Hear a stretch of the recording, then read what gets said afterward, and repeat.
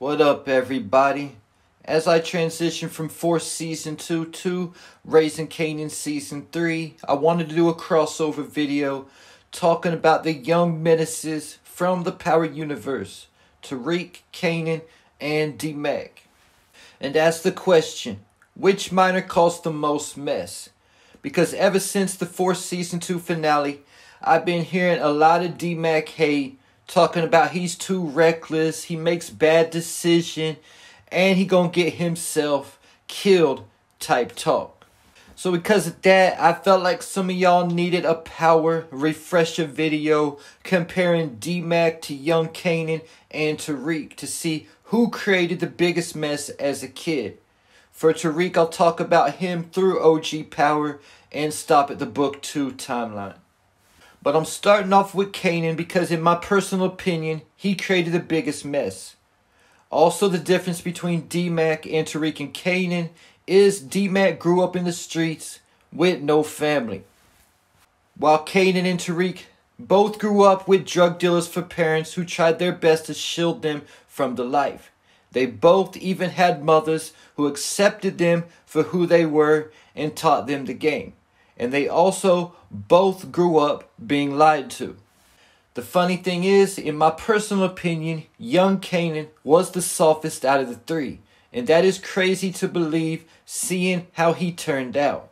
So when you think of the monster Kanan Stark grew up to be, you got to wonder what D-Mac and Tariq will be like fully grown if they live that long. But young Kanan started messing up from episode 1 of Raising Kanan. His boys had heard his classmate, a kid named Buck 20, who Kanan didn't like because he had a crush on his girl, Davina, was posting up on Raq's corners. But what Kanan didn't know was that wasn't Raq's corner anymore. Her and Unique had made a new agreement, splitting up territory.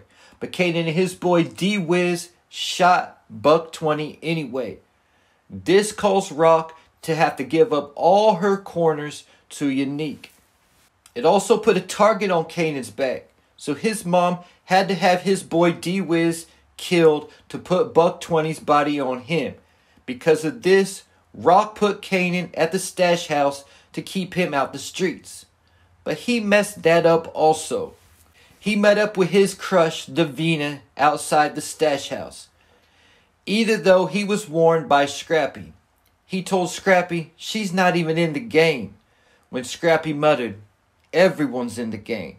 And it served to be true, as Unique was able to get this information out of Davina by offering to send her mother to rehab.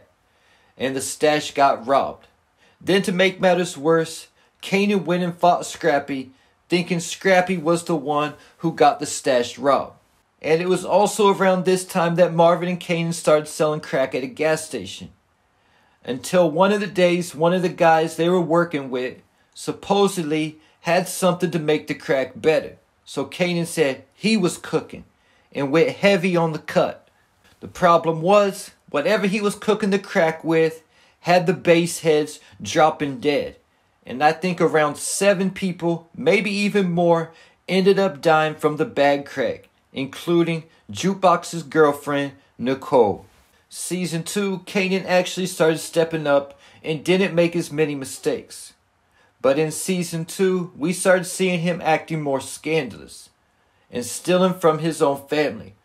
First, he stole a band of money from out the closet, then stole bags of red caps two different times. Getting me to Tariq St. Patrick, who also did his share of messing up. Some may say he caused even more problems than Kanan, and I wouldn't be mad at that. But Kanan putting out that bad crack put him at the number one spot for me. And if he didn't have a dad for a cop, he would be gone right now. Before I talk about Tariq, keep in mind what Kanan told Ghost about Tariq. He's a born gangster. He's born gangster. It's in him. Then he said Tariq was the coldest kid he ever met. And Ghost was the meanest kid Kanan ever met. So either though Tariq was raised in a penthouse and not in the streets like D-Mac, it didn't matter. It was already in him. And a lot of people blame Kanan for Tariq, but keep in mind that Tariq was already causing problems before he ever met Kanan. Before Tariq ever met Kanan, he already stole Angela's gun and brought it to school, and had also already been suspended from school for fighting. So all Kanan came and did really was groom what was already there. But then Tariq met Kanan, started drinking lean and lying to his parents about who he was hanging out with. He was also skipping school and hitting licks on his classmates' parents with Kanan and his crew. Then, because of Tariq's relationship with Kanan, he got himself kidnapped by Jukebox and held for ransom. And if it wasn't for Kanan, he would have gotten both him and Ghost killed that night. But that wasn't enough to give Tariq second thoughts, though. He then went to hit licks with Brains in Big Country and said Brains' name during the lick, which got a lady killed. And because of this, Ray Ray came looking for Tariq and Raina got killed.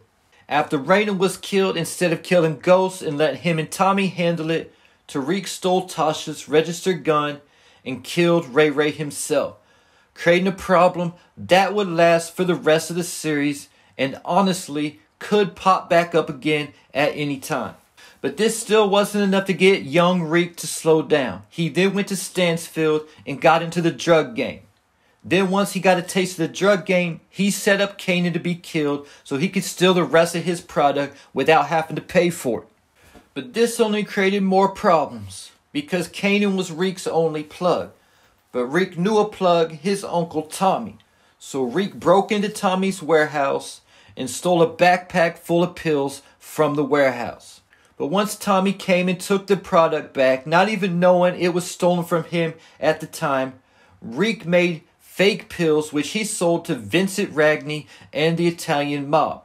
And this got him kidnapped again. But when he was kidnapped by Vincent, he thought he could work an angle to get a cut of the ransom money. Tariq was also expelled from Stansfield around this time for selling fake pills. But all this still wasn't enough to keep Tariq out the game. Like Kanan said, he's born gangster. After he was expelled from Stansfield, later on in season 6, he helped Tommy take out Proctor, then tried setting up Tommy to die at the hands of Vincent and the Italian Mafia, something Tommy still doesn't know about because he canceled Christmas on Vincent before Vincent could tell him. Then Tariq shot and possibly killed his own father, Ghost. I say possibly killed because they never showed us Ghost's body, and they had five whole episodes after he was shot to do so if he was actually dead. Getting me to D-Mac. So after all the mess Kanan and Tariq calls, D-Mac don't seem like near as much of a problem. D-Mac started off for season one shooting up his dad and granddad's jazz club. D-Mac was doing this out of resentment and trying to get JP's attention because JP abandoned him as a kid and didn't even know it was his own son shooting up the bar. Then D-Mac took a brick of Dahlia from Tommy and took it to Gary, Indiana to make a connect with Cousin Buddy. When Jenard heard D-Mac cut him out of Gary, he retaliated and D-Mac got shot. Once D-Mac got to feeling better, he went to Diamond's barbershop to get a lineup, only to find Seamus holding Tommy and Diamond at gunpoint. So he killed Seamus. After killing Seamus, D-Mac was told to stay at home and lay low but he was right back out in the streets the next day. So Tommy sent D-Mac to military camp, where D-Mac eventually assaulted a kid and escaped.